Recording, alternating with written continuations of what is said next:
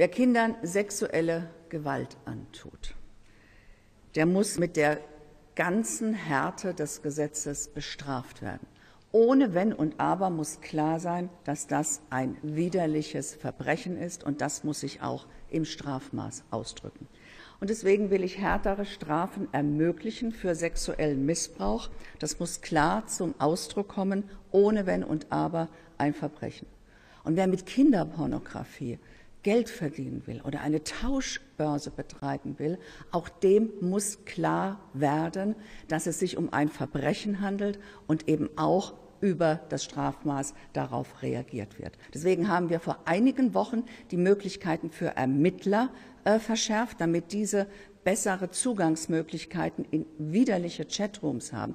Deswegen will ich, dass in Zukunft Provider, wenn Kinderpornografie gemeldet wird, diese an das BKA weiterleiten müssen.